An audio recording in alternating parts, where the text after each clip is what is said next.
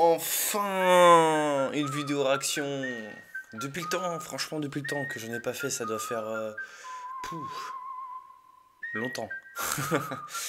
Et connu pour fêter ses retrouvailles, bah, je vais réagir à Jérôme, 28 ans, toujours puceau. Je pense que vous le connaissez un peu tous, il avait fait un peu le buzz, donc euh, c'est parti pour la vidéo.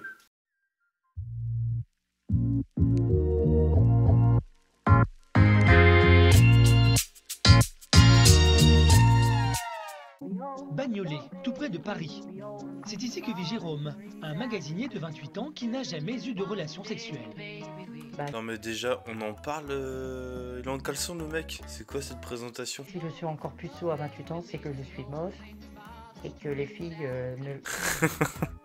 ah non mais ça fait déjà deux secondes qu'elle a commencé la vidéo, je suis déjà mort de rire. On en parle encore une fois, le mec il est en caleçon sur son lit à côté de Todd. Il doit prendre cher Todd, c'est pas possible. Ah, je le plains. Hein. Ne veulent pas craquer pour quelqu'un de moche. Je, le vis euh, hyper mal et c'est vraiment un handicap pour moi. La dernière relation qu'a vécue Jérôme a eu lieu il y a 10 ans lorsqu'il était encore au lycée et s'est limité à de simples baisers. Du coup, quand le jeune homme pense au jour où il fera l'amour, il est un peu inquiet. À mon avis, quand je ferai l'amour avec une fille, ça ne durera pas 30 secondes parce que j'ai tellement envie de le faire. en fait, le mec, il va rentrer le biscuit, il va lâcher la sauce, quoi. Voilà, j'ai tellement envie, envie que ça, ça bouillonne en moi. Et... Il est en train d'embrasser un bout de papier collé sur un mur. En plus, il embrasse même pas la bouche, il embrasse le, le menton. Mais c'est du papier, de toute façon. Qu'est-ce qu'il fait, ce Gugus, là? Je me rappelais plus de ça. Et le jeune homme peut se permettre. Oh là là là là là, comment il doit se lustrer le poireau tous les soirs sur les catalogues de Britney. Elle lui d'avoir un paquet de mouchoirs énorme. Impossible aujourd'hui. Là, je suis en train de lui caresser ses cheveux. Là, je commence à, lui caresser sa poitrine et tout, tout son corps.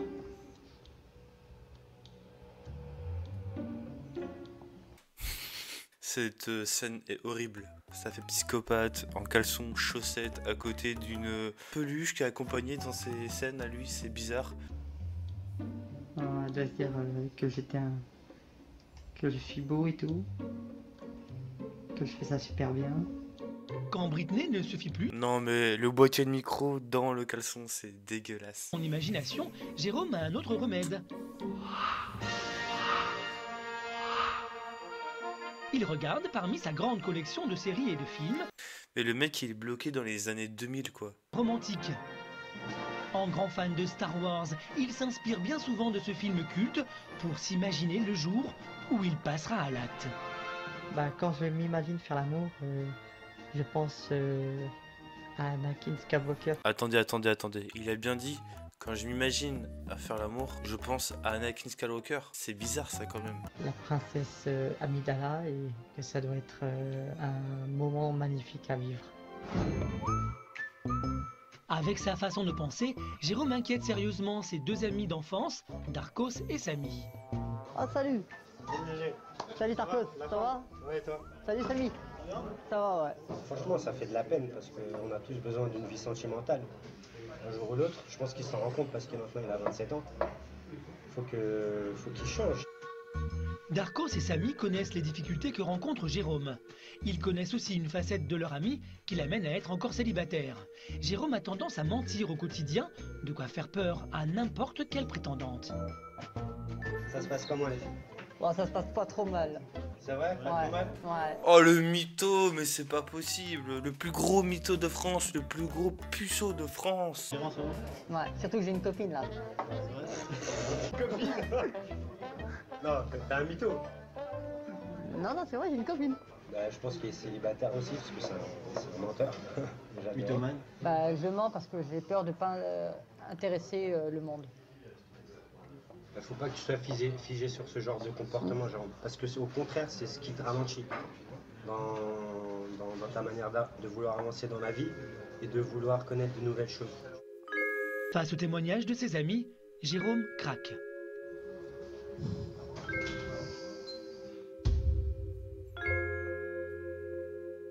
Le jeune homme sent bien qu'il est temps de réagir et de trouver des solutions pour redonner un sens à sa vie sentimentale. Jérôme a contacté Kevin, un coach en séduction, pour tenter de trouver l'amour. Euh, quelles sont tes techniques euh, que tu vas aborder pour faire de moi un vrai séducteur? Je vais, je vais faire de sorte à ce que tu puisses vraiment montrer ce, qui tu es vraiment. Le but, c'est pas du tout de te transformer. Si tu kiffes les t-shirts Star Wars, c'est ton délire. On va, on va le garder tout ça. On va bien trouver quelqu'un qui, qui aime aussi Star Wars. Ouais, ouais, bon, alors je te, je tiens tes conseils, on va y arriver alors. Kevin est coach en séduction, mais aussi mannequin. Il s'entraîne dans cette salle de sport régulièrement et pense que ce lieu est parfait pour voir comment Jérôme drague. T'es chaud là, je vois. hein. Ouais, c'est chaud là. T'es chaud. Ouais, Ah ouais, t'es chaud. c'est bouillant là. Vas-y, c'est parti, mon gars. C'est ça, tu me fais penser à quelqu'un. À qui? À Whitney Houston. Je j'ai pas de commentaire pour ce qu'il a dit là. C'est c'est un peu déplacé, je trouve. Sachant qu'elle est morte. Parce que je l'ai vu, ouais, parce que je l'ai vu personnellement. Personnellement. Mais elle est morte dans sa baignoire. Tu danses quoi? Bah si tu veux, moi je sais faire la salsa, tu veux que je te montre Bah vas-y, je te regarde. Avec plaisir. Ah, c'est un peu plus du breakdance. Vous me trouvez comment? Eh, le mec, quand même, il a les coronaises hein, de aborder les filles comme ça. hein. Bah la vérité c'est que vous me trouvez pas beau. Non, pas trop. Est-ce que t'as rencontré Michael Jackson? Aussi. C'est dans le Gonda Style aussi. It's the Gonda Style J'ai- Je sais pas quoi dire, je suis mal à l'aise. Voilà, ça c'est le Gonda Style. C'est bon, ouais, t'es parti pour. Ah ouais, là je suis chaud là. Après deux heures de séduction, Kevin arrête l'exercice. Il en a assez vu pour faire un premier bilan. Il est vraiment de l'autre côté du, du périph', mais bon, ça me fait pas peur puisque c'est des choses qu'on voit souvent, la mythomanie, euh, des mecs qui stressent, qui paniquent euh, en vue d'une fille. C'est un bon, un bon gars, hein, mais niveau euh, caractère, il faut qu'il change. Faut pas qu'il soit aussi cash, faut pas qu'il rentre dedans comme ça parce que c'est laborieux. Retour avec Jérôme, un jeune homme de 28 ans qui n'a jamais eu de relation sexuelle. Bon, t'es prêt Ah, c'est euh, Bon, t'oublies pas, Nathalie, hein. D'accord. Nathalie, vas-y, répète. Nathalie. Ok, c'est bon. Bon, il est puceau, mais il est pas con. On est parti Kevin, coach en séduction, a décidé de jouer les entremetteurs. Il a organisé un rendez-vous entre Jérôme et une jeune femme célibataire de 23 ans. Jérôme, Nathalie. Attendez. Nathalie, infirmière et célibataire depuis 6 mois, a accepté de rencontrer Jérôme sur les conseils de Kevin. Celui-ci a planifié la rencontre dans un karaoké car Jérôme adore chanter. Me dites pas qui va chanter. J'espère qu'il va pas chanter. A few moments later.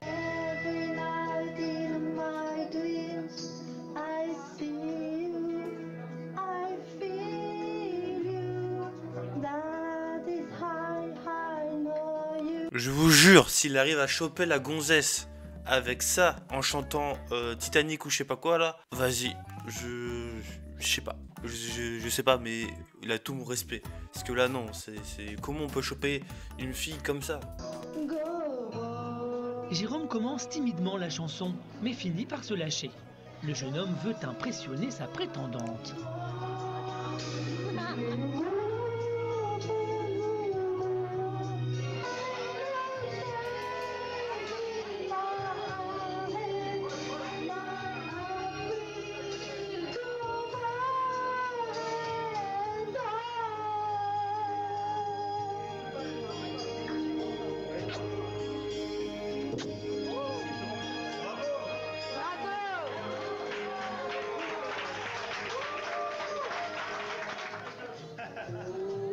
C'est trop mignon. C'est trop mignon. Bah, vas-y, hein. Bah, je vais faire ça alors pour choper une meuf. hein. Kevin a réussi son coup. Avec son interprétation, Nathalie laisse une vraie chance à Jérôme de la séduire. J'ai aussi une famille. Et euh, donc, du coup, euh, j'ai plus les mêmes attentes que quand j'étais très très jeune. Ah ouais, parce que moi, c'est moi, c'est ce que je recherche, c'est le grand amour quoi. Avec l'aide de son coach, Jérôme tente le tout pour le tout afin de captiver l'attention de sa prétendante. Le jeune homme sent que ce soir, il a la possibilité de concrétiser et il ne veut pas laisser filer sa chance.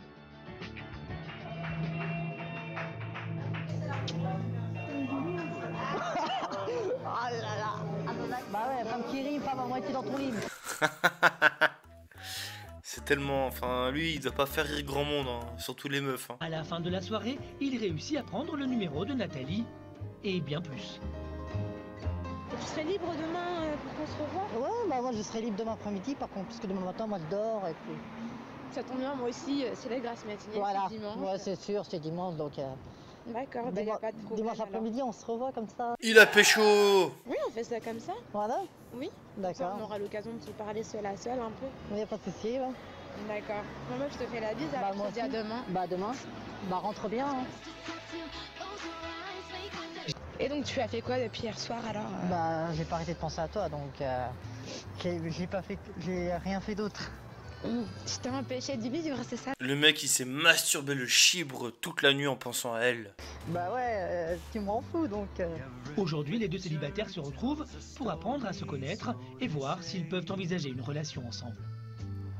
Ça me ferait plaisir de te connaître un peu plus hmm. et euh, de creuser ton fond parce que voilà, tu m'as l'air de- d'être quelqu'un de sincère, je pense. Bah moi je suis quelqu'un de, de sincère, tu vois, je veux pas te mentir, euh, préfère être sincère avec toi, qu'on a passé un bon moment, donc moi je veux continuer dans cette lancée. Ça fait combien de temps que tu es célibataire? Mais ça fait pas plus de 10 ans, hein. Ah oui, quand même. Enfin, c'est vrai que c'est pas commun. euh. Je te fais flipper en disant ça. Ça va être difficile en tant que femme de devoir apprendre à un homme euh, des gestes de tendresse ou d'amour. Hmm. Imaginons que si, euh, au jour d'aujourd'hui, si vraiment ça colle bien ensemble, tous les deux. Oui, bah oui. Enfin, moi, quand j'aime, je, je donne tout ce qu'il faut. Il n'y a pas de problème sur ça. euh. Comme on dit, l'amour n'a pas de prix. Hein. Exactement, voilà. Birds flying high. Malgré son manque d'expérience, Jérôme semble avoir touché Nathalie. Quelques instants plus tard, elle se blottit contre lui pour un moment de tendresse. You know how Oula, vont-ils s'embrasser? On le saura tout de suite. C'est bien là on by. On est bien ensemble Ouais, je trouve aussi. Ouais, t'es sûr Hmm. Je te réchauffe, euh, t'es bien avec moi là Bah oui, c'est le début, quoi. C'est le début d'une histoire, peut-être. Bah ouais, bah, j'espère que cette histoire elle ira très loin. Moi, j'espère aussi. Ouais. And I'm feeling good. Euh...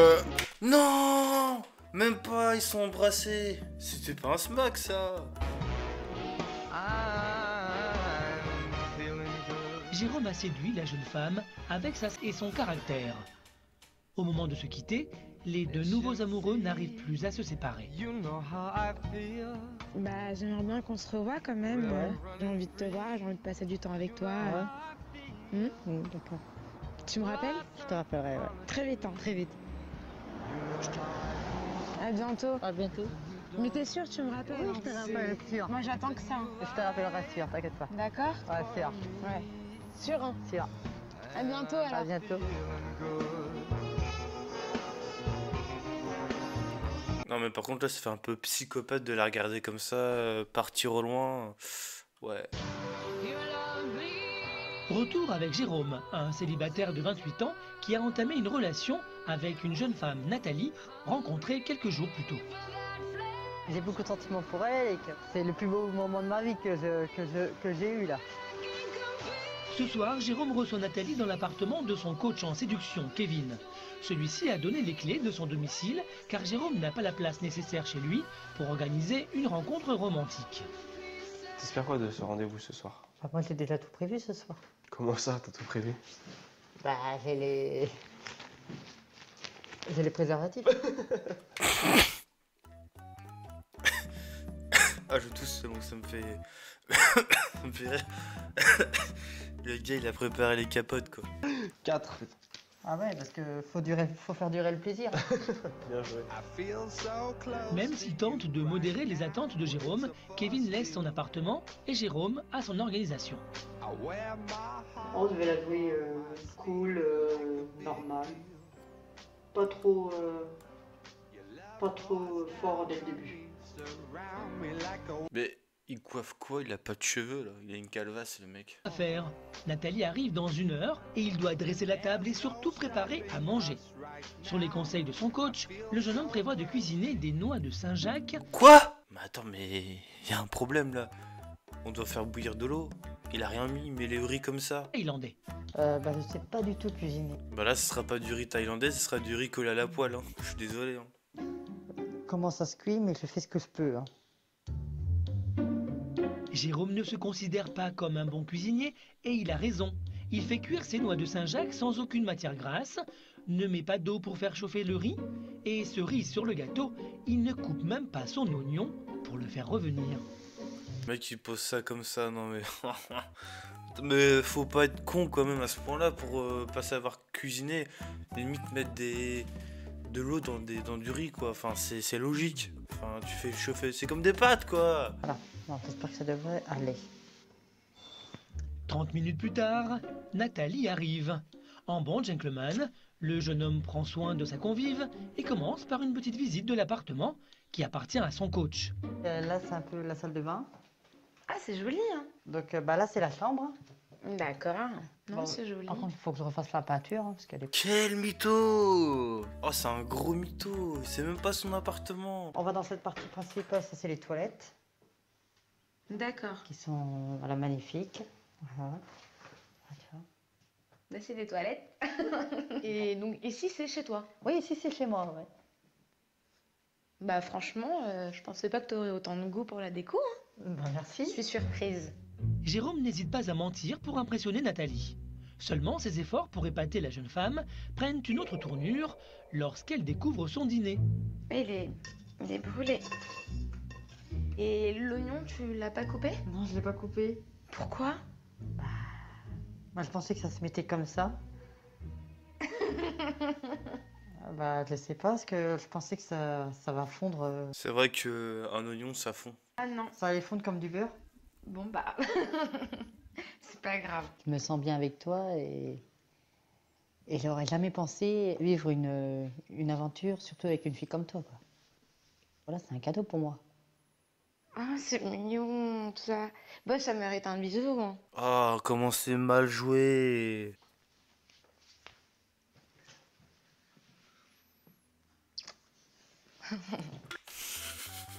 On dirait une daronne qui fait un bisou à son fils parce qu'il a fait un truc bien, quoi. Très en confiance, Jérôme profite de ce moment de tendresse pour dévoiler ses sentiments. Je- J'aimerais te, j'aimerais te dire un truc.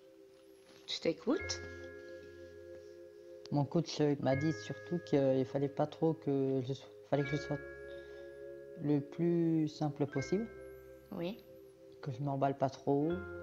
Je vais être obligé de te dire ce que je vais te dire. Mon secret, c'est que j'ai une salle de jeu. Je t'écoute. Je suis de tout tuer, je t'en prie. Je suis amoureux de toi. Et juste une question, c'est quoi le principe d'avoir des lunettes, mais regarder euh, au-dessus des lunettes, enfin un peu comme ça, genre comme ça. Ça sert à quoi d'avoir des lunettes si tu regardes pas dans les vitres? J'apprécie vraiment ton honnêteté, tu vois, mais. Ah ça pue, ça pue ce qu'elle veut dire là. Ah, non, ça pue pas parce que j'ai pété, hein. Oui, j'ai lâché une caisse, mais ça pue parce qu'elle va dire une connerie là. Ça pue parce que il va se prendre un blanc là. J'ai besoin d'un peu plus de temps pour être amoureuse. Et je dis pas qu'il y a rien. Ça s'appelle un râteau. Là, c'est pas un râteau, c'est c'est la pelle ancestrale quoi. Il y a quelque chose, mais là, euh, je trouve que c'est très précipité euh, comme déclaration. Devant la réponse de Nathalie, Jérôme devient soudainement silencieux. Il quitte même la table sans dire un mot. Bah, j'aurais jamais dû lui dire que, que je l'aimais, quoi. Que j'avais des sentiments pour elle. Mais moi, je suis sûre que ça va merder, quoi. Franchement, ça. Putain, je l'aime trop. c'est- Ça, c'est dégueulasse. Bon, euh, c'était ouais, c'était assez cool comme, euh, comme vidéo. Euh, J'avais déjà vu, mais je m'en souvenais plus du tout des scènes. Ça faisait un bail que j'avais pas vu. Et c'était. J'espère qu'aujourd'hui qu'il est pas qu'il est pas puceau. Enfin, qu'il l'est pas encore en tout cas, ce serait triste. Mais bon. Bon, euh, j'espère que cette vidéo vous a plu. Euh, N'hésitez pas à vous abonner à ma chaîne YouTube et à ma chaîne Twitch. Ça y est, j'ai atteint les 100 abonnés sur YouTube. Euh, c'est cool, en vrai, ça avance petit à petit. J'abandonne pas. Et merci beaucoup, encore une fois. Et puis moi, je vous dis à la prochaine. Bye bye.